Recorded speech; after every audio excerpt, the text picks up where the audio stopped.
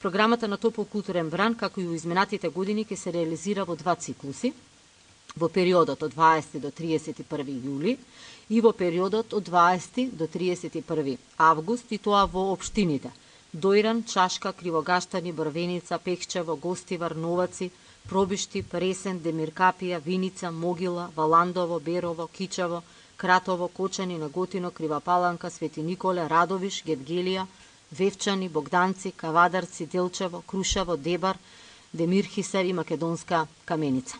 Ки ги извам концертите на Баклава, Сашо Гигов Гиш, Сара Мейс, Дарко Илиевски, Тамара Тодевска, концертите на духовна и класична музика, проекциите на долгометражни македонски филмови, голем број на театарски представи, концерти на наши фолклорни ансамбли,